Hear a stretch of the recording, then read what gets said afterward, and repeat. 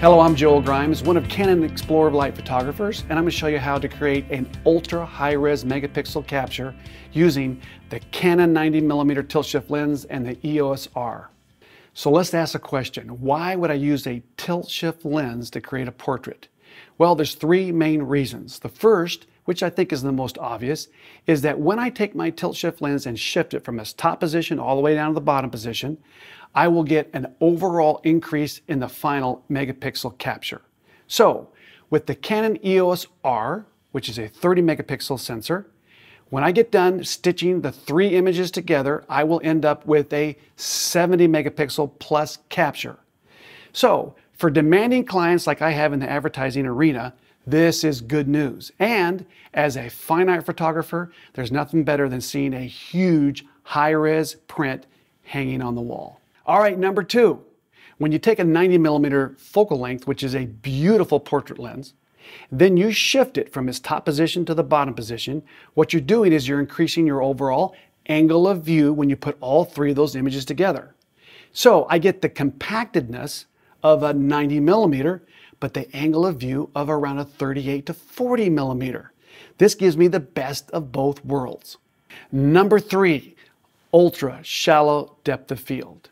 So if I take my 90 millimeter tilt shift lens and I set it at its widest aperture, which is 2.8, at a five feet distance from my subject, that gives me about just less than two inches of depth of field. But when I stitch all my images together and I create that 38 millimeter angle of view, I still retain the two inches of depth of field. So there's no lens on the planet at 38 millimeter that will give me a two inch depth of field. The best I could hope for is maybe a 1.4 lens, which give me around a five inches of depth of field. So let's talk about Canon's new EOS R full frame mirrorless camera. When I take a manual EF lens like the 90 millimeter tilt shift lens, there's two things I can do now that I couldn't do before. The first is face and eye tracking, fully integrated using a manual EF lens. The second is focus assist. There's three little diamonds that when I turn my focus and that those little diamonds come together and turn green, I know I'm perfectly in focus. So the process of using a manual lens is seamless. All right, so now we're gonna go in the studio and you're gonna follow me as I go through the process of creating a portrait using these techniques I've been talking about.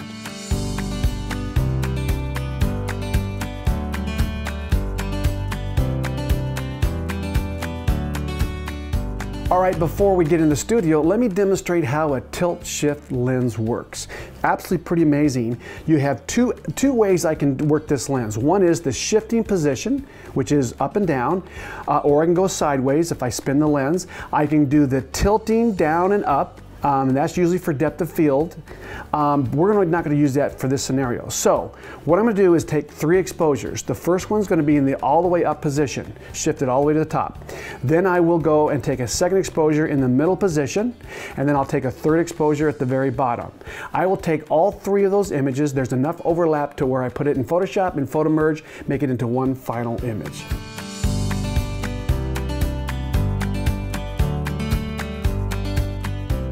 All right, so here we are now going to have a lot of fun. We have our beautiful model Bryce, and she is wrapped up in some tulle. So you can get this at a fabric store, and we've got black, we've got white, and we've got some red.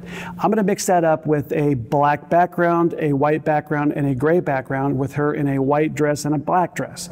So as I get her in front of the lens, I'm gonna play around. I don't know what's gonna work Sometimes I just kind of stumble across something and make it all happen. But we're going to get an amazing picture because this is what it's all about, the creative process. For my light source, I used a Canon 600 EX RT speed light in a 24 inch modifier.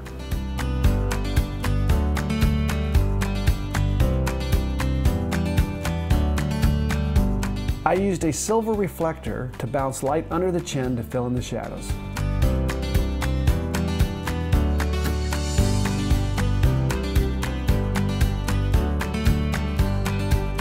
The reason why I'm using a white, gray, and black background is I can add a texture later in Photoshop using blending modes.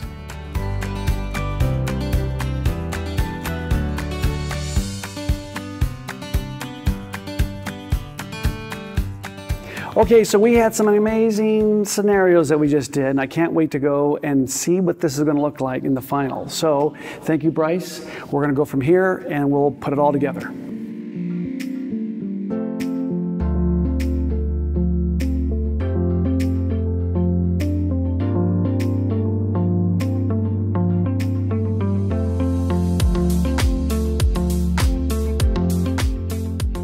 All right, here we are now at the retouching side of things. This is where a lot of the magic happens. And I've got my CR3 files downloaded. We're gonna go into uh, Digital Photo Professional 4, which is Canon's proprietary software.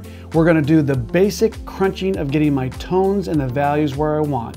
Then, from there, we're gonna go over to Photoshop and merge those three images together. So let's get started.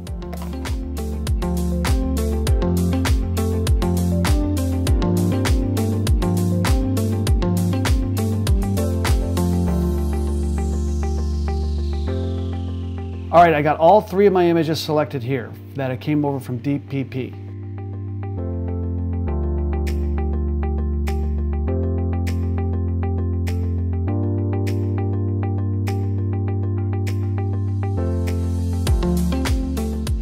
All right, now that we've got our base ready to go, we're gonna start applying textures and a few other things like levels and some hues saturations and clean it all up. So I'm just gonna go speed through this and you guys can watch how I do it.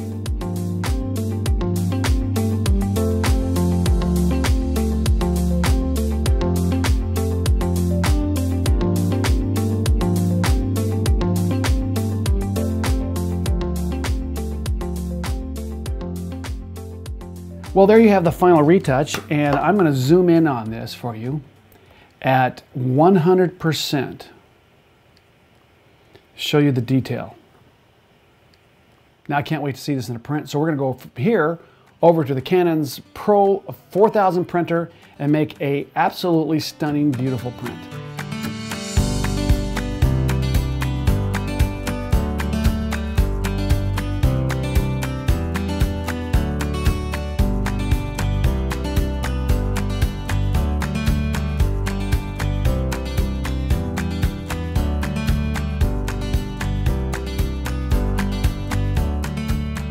Here we have our final print of Bryce at 44 by 60 inches. So at 200 DPI, this comes right out of Photoshop, native resolution, no interpolation. This is absolutely amazing results. So with the Canon EOS R and the 90 millimeter tilt shift lens, I was able to create a portrait that fulfilled my vision as an artist.